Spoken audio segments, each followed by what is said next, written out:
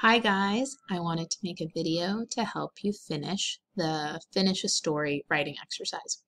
So this is what it will look like. Here's a little picture and it says finish a story example.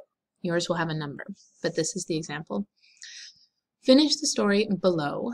Make sure you answer all the questions and illustrate your story with one picture. Here's the story for this one. On my last birthday, my parents gave me a new toy. It was exactly what I wanted. It was a... What toy was it? What did it look like?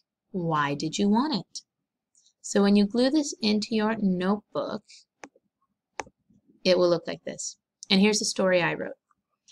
It was a new set of roller skates. I love to roller skate, but my feet grew too big for my old skates. Right away, I put them on and tried them out on the sidewalk in front of my house. They were so great. Now, this is a good story. But did I answer all the questions? What toy was it? It was roller skates. I answered that question. What did it look like? Oh, I forgot something. One sec. Let me add to my story. There we go.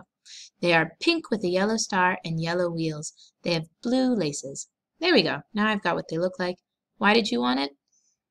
Because I love to roller skate, but my feet grew too big for my old skates. So now I've got all the questions answered and watch this. There's my picture. I hope this was helpful and I hope you can finish this writing exercise at home now. I'll see you later.